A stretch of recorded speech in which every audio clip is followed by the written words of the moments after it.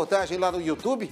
Agora você vai ver, a nossa equipe foi até Mandaguaçu para descobrir o que está acontecendo com aquela alça de acesso ali que vem causando acidentes envolvendo motociclistas. J. Júnior e Gustavo Duarte. J.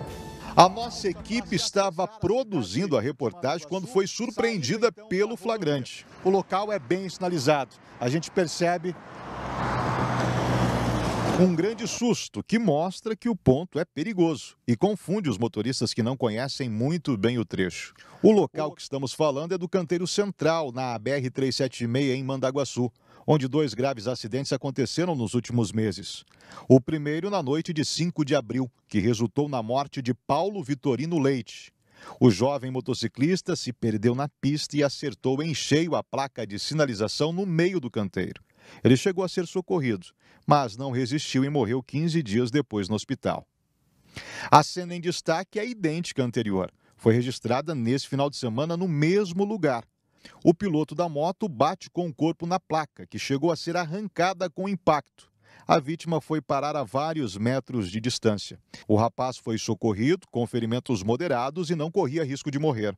Nós estamos no ponto onde os acidentes aconteceram. Fica na entrada da cidade de Mandaguaçu, no trecho da rodovia para quem segue de Maringá sentido a Paranavaí. Aqui a gente percebeu que a mais ou menos 100 metros a pista tem duas divisões, conforme segue boa parte do seu trecho.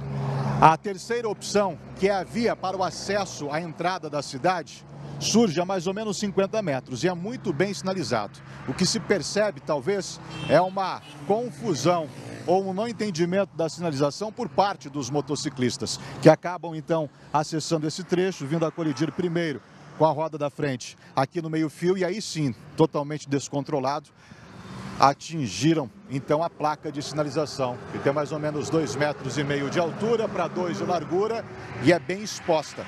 As marcas que nós estamos vendo, por exemplo, na própria placa e nessas hastes de sustentação, são justamente marcas dos acidentes que aqui aconteceram. A velocidade também pode ser outro fator a ser atribuído às causas do acidente. Mesmo dentro do limite de 80 km por hora, Nessa velocidade, o condutor tem pouco tempo de reação.